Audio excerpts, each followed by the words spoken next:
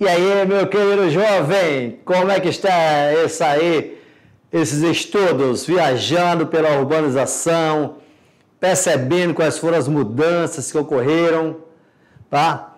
Hoje, nessa aula número 2 aí do terceiro ano, nós vimos aí a diferença entre a urbanização dos países ricos e a urbanização dos países pobres, como é que tudo isso ocorreu no século XX, tá?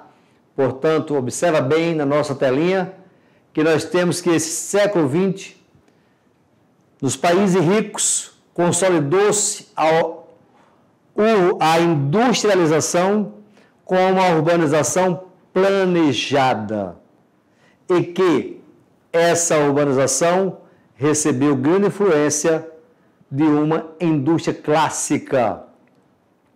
Já nos países subdesenvolvidos, a urbanização ocorreu num processo muito mais rápido. Essa urbanização vem com uma diferença muito grande. Observe bem. Até, vem aqui na telinha comigo. Você pode observar aqui, na telinha, um gráfico que mostra bem isso. Olha aqui, ó, nós estamos tendo aqui, ó. Tá?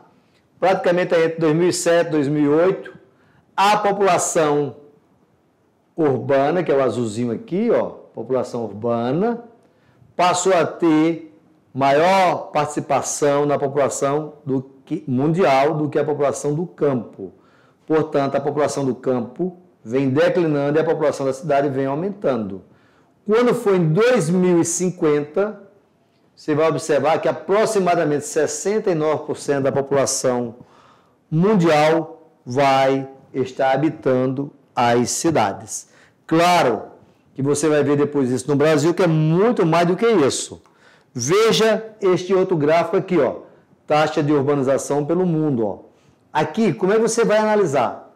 Vermelhinho aqui, ó, primeira corzinha, África, tá? A segunda corzinha, Ásia. O azulzinho aqui, ó, Europa, tá?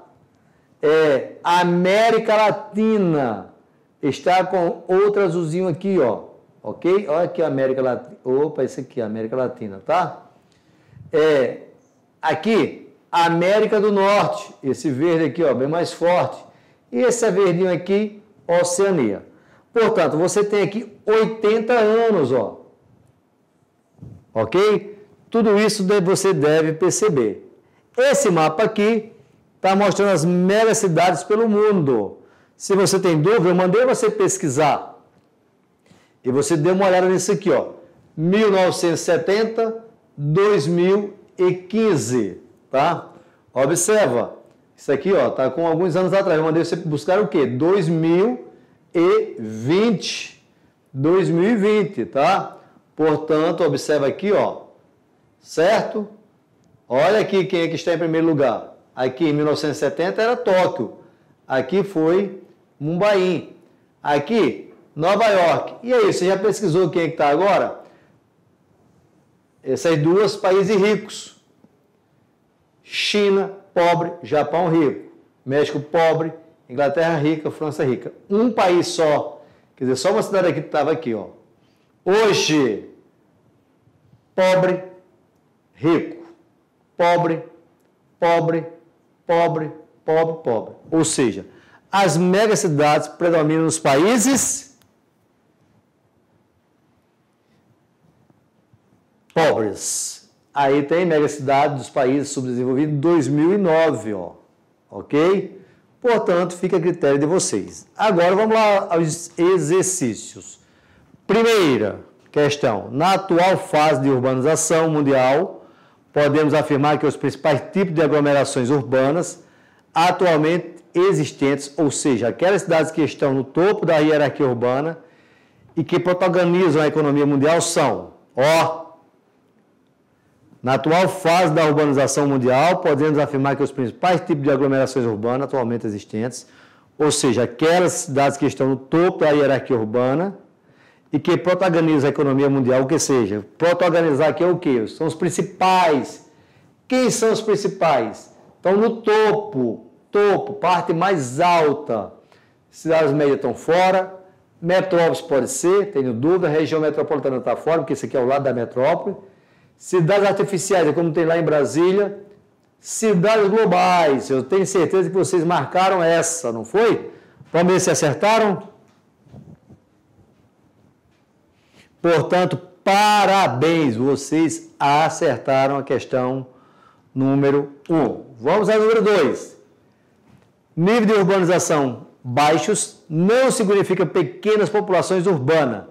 A China, que tem apenas 40% de sua população nas cidades, é o país com maior população urbana do planeta, cerca de 525 milhões de pessoas. A cidade da Índia, um país com menos de 30% da população em meio urbano, abrigam 330 milhões de habitantes. Demetria Magnoli não foi modificado porque o livro que está é de 2008, ó. Por isso que não foi modificado. Mas você pode ir lá buscar qual é a população que, da China hoje que mora na cidade. Qual é a população da Índia que mora na cidade hoje. Deixar bem claro, não foi mudado, porque foi tirado de um livro chamado é, Geografia para Ensino Médio, tá? edição 2008 página 403 que tinha esses dados, ok? Parece muito velho, mas você é mais velho do que ele, tudo bem? Com a leitura do texto, podemos perceber que o melhor conceito de urbanização é, vamos lá, letra A, crescimento da cidade de um país em relação ao crescimento das demais cidades do mundo, tem nada a ver com, com o conceito. Aumento do espaço físico, está fora. Crescimento das populações urbanas em relação ao rural. Por quê? porque aqui você teve crescimento natural mais o êxodo rural. Tem tudo para ser a letra C. Aumento do número absoluto. O número absoluto é o total de habitantes. Está fora isso aqui.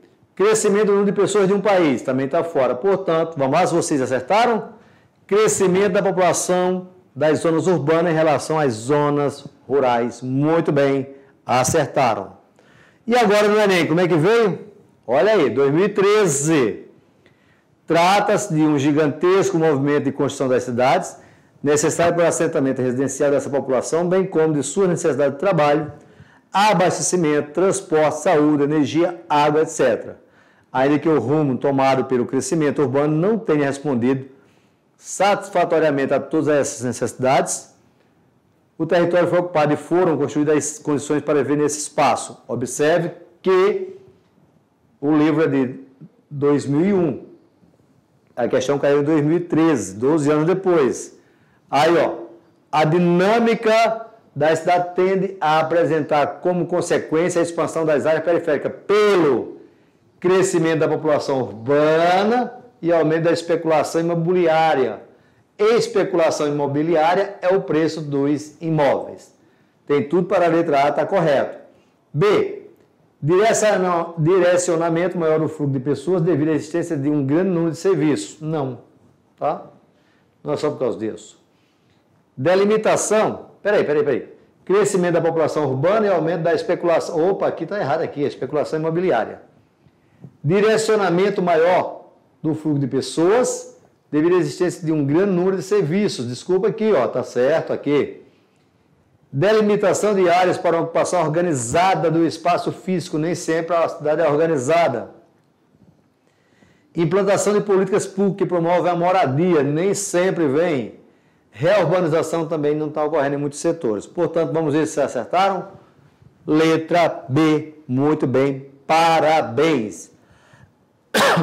A questão número 2 Sobre o tema urbanização, analise as afirmações a seguir. 1. Um, os fatores que funcionam como atrativos da urbanização nos países subdesenvolvidos estão ligados basicamente ao processo de industrialização. Tá? A forte urbanização nos países subdesenvolvidos só ocorreu em fase do processo de globalização verificado após o fim da URSS. Não tem nada a ver isso aqui. Tá? É, as cidades nos países desenvolvidos foram se estruturando para absorver os migrantes, havendo então melhoria na infraestrutura urbana e um aumento de geração de emprego, tá certo?